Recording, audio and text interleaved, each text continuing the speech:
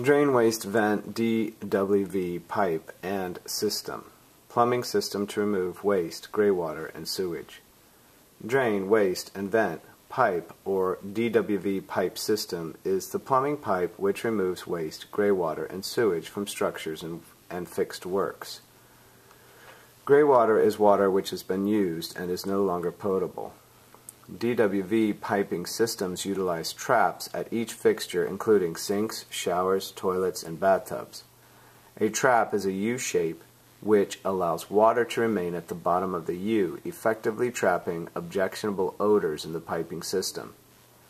At the top of the DWV system, the piping continues up to the roof to a vent which allows the ventilation of gases into the air air to populate the DWV system, allowing aerobic decomposition of waste matter, and allows the pressure in the system to balance so that water will remain in the traps.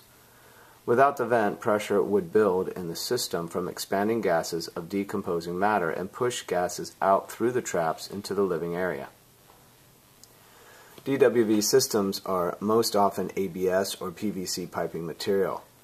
The drain waste vent DWV piping system is the plumbing system which allows the removal of waste, gray water, and sewage from structures. Multiple choice question, drain, waste, vent, DWV pipe and system. A. Fasten house framing securely to footings. B. Inflow of potable water to the structure or fixed work. C. Plumbing system to remove waste, gray water, and sewage. D. To pass code checks, DWV system must hold pressure.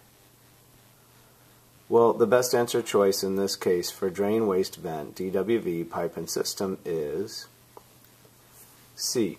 Plumbing system to remove waste, gray water, and sewage.